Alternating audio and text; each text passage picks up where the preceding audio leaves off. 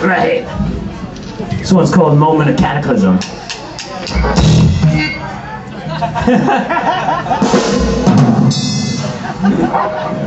Alright, let's do that again.